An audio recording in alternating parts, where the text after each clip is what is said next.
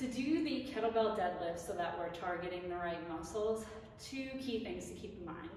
First, you don't want to keep your legs completely straight the whole time.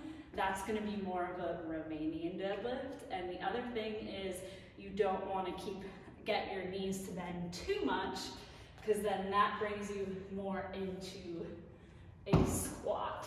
So in order to do that, I like to set the kettlebell up right between my big toes. So not quite right in between your feet like you might for a squat, but a little bit more out in front with the toes. And then I send my hips back and then bend my knees to come down to grab it. So that will bring us into that more middle range here so that our hips are a little higher than a squat, but our knees are a little more bent than an RDL. So it'll look like this. Send the hips back, bend to come down. Back, bend to come